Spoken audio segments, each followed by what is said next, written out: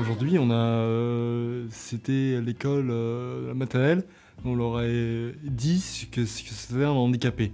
On a fait une petite mise en scène théâtrale. On a décrit les différents lobes, leurs fonctions avant et après l'accident. Dans la petite représentation, euh, je suis là un petit peu pour euh, donner les rôles justement à chacun et donner la voix à chacun des, des personnages. Tout ce qui est en dehors de la théâtralité et plutôt dans l'explication de, ce qui se passe pour que ça puisse parler et euh, faire parler justement euh, tous les personnages.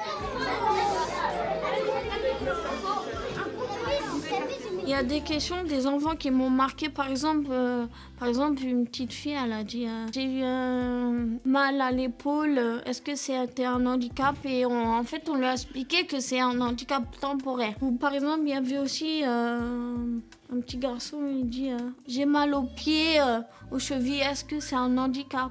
On lui a dit non. Peut-être c'est soit un problème au niveau de ses chaussures. Euh, c'est pas adapté à lui. J'ai trouvé que leur euh, question était très pertinente et euh, très innocente aussi. J'aurais bien aimé avoir ce style de prévention à mon âge et dans mon école. Je pense qu'ils ont déjà une petite notion.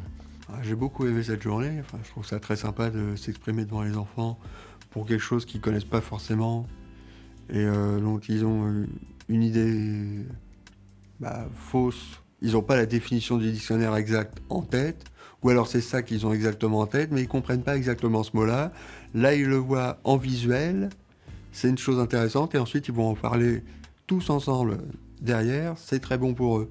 Pas eux, la seule vision qu'ils en ont cet handicap, le petit symbole avec un fauteuil roulant qu'on voit partout. C'est la seule chose qu'ils voient.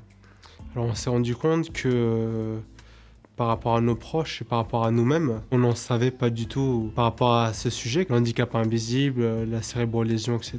Donc on s'est dit que même si nous, qui l'avons vécu, on n'était pas au courant, que notre famille a dû apprendre à le vivre, on s'est dit que c'était important que maintenant qu'on était au courant, pouvoir mettre les plus jeunes au courant pour que eux un jour, s'ils sont face à quelque chose, bah, ils soient déjà prêts. qu'ils puissent euh, savoir pourquoi ils ont ça et se dire que ce n'est pas une difficulté, que c'est une force